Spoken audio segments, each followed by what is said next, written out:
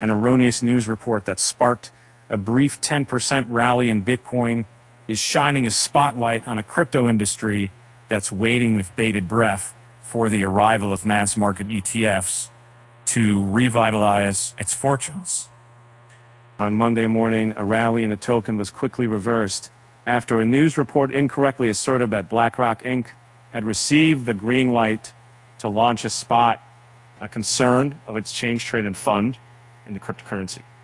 While the news may have been bogus, the money at stake was very real.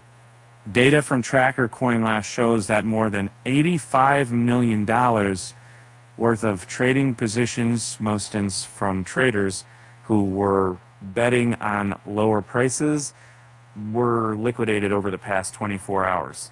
While misinformation is par for the course for an industry beloved by fraudsters and digital advocates alike, uh, the episode adds to the raging debate on whether the market has actually priced in the arrival of an exchange traded fund tracking the largest digital coin.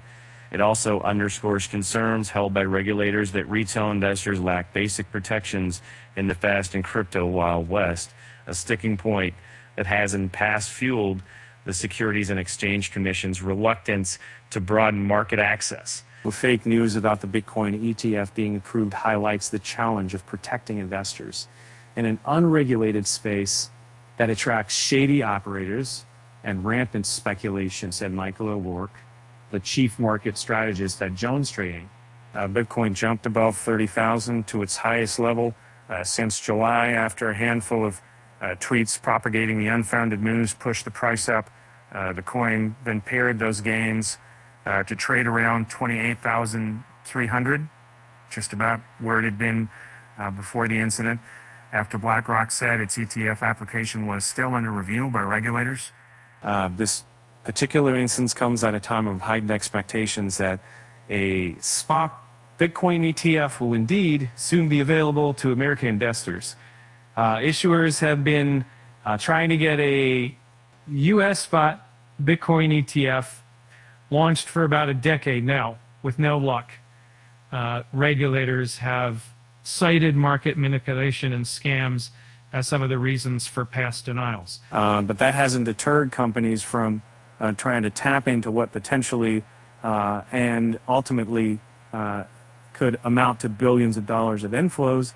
Uh, many issuers have over the years worked on their applications or on ways to appease regulators with the hopes of getting such a uh, such a fund off the ground. Uh, there are currently more than 10 outstanding applications for spot Bitcoin ETF, and um, because BlackRock and other heavyweights, including Invesco and Fidelity, are part of um, the current race. Uh, many many analysts believe the chances of approval are stronger.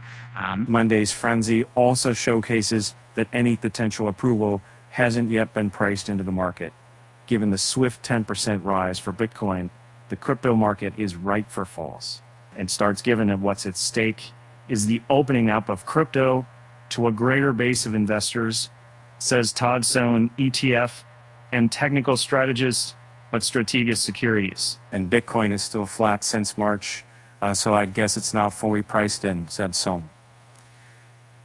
If a fake headline was worth 6 to 10%, the real deal should equate to more. According to Sana Islam, Associate Director of Research at VettaFi, agrees. And we'll see a stronger, more sustained rally once spot that Bitcoin ETFs uh, are actually approved. She said that this morning's move was based on very uncertain news. That was disproven soon after its release, so the market did not have to have adequate time to react.